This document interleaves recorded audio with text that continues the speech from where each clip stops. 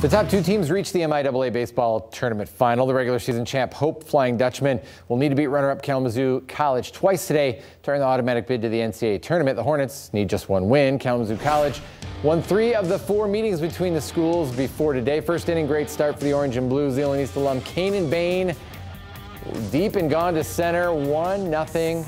Hope top of the second tie game. Two on for K College's Blake Bean and the senior going to the deepest part of the park for a three-run bomb and a 4-1 lead for the Hornets. And K just kept the big hits coming. Doug Propson sends one to the left center field wall. Ben Chozid comes in to score. K College wins at 16-2. Hornets are the MIAA tournament champs and earn the automatic bid to the NCAA tournament.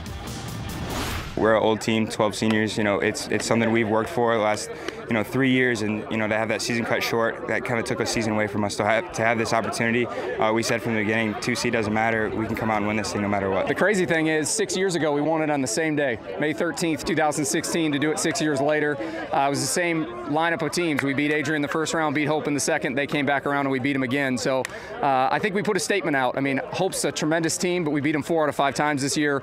Uh, I think we're where we belong to be, and I'm really proud of my guys. Going up 4-1 in the second, that was big, and then we got a big zero after that. Um, our pitchers did great today, getting zeros all the time.